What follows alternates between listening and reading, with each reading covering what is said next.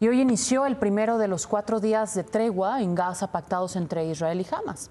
Por primera vez en 49 días no hubo un solo ataque por parte de Israel, lo que permitió que Hamas liberara a 13 mujeres y niños, como lo prometió todos israelíes, que tenía como rehenes desde el 7 de octubre.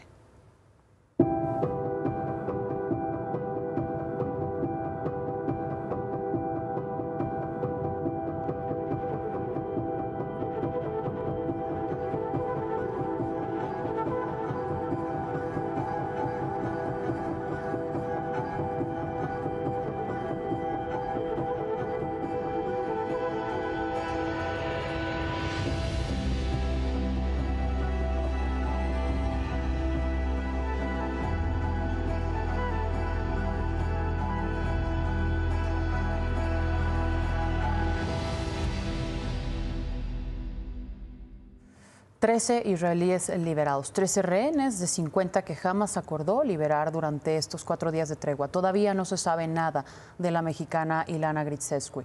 Hoy también liberaron a 10 tailandeses y un filipino como parte de un acuerdo por separado con el gobierno de Qatar. Y el gobierno de Israel cumplió con su parte del pacto. Entregó a 39 palestinos que tenía presos, 24 mujeres, 15 adolescentes, quienes son los primeros de 150 que Israel acordó liberar en estos cuatro días. Los 39 fueron trasladados por la Cruz Roja a Cisjordania, donde fueron recibidos así.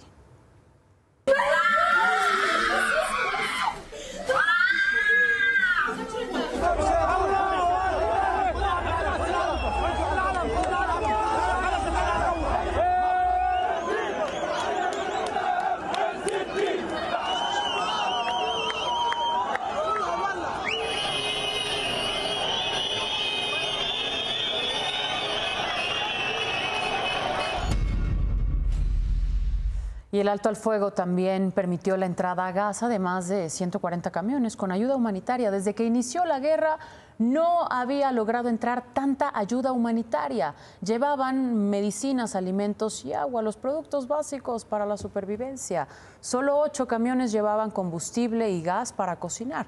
¿Qué se espera? Que la cantidad de ayuda aumente en estos tres días que le quedan a esta tregua. Tres días. Tres días. Por lo pronto, el presidente Joe Biden confió en que esta tregua pueda durar más de cuatro días porque dijo, empezó muy bien. Mm. Ojalá. Bueno.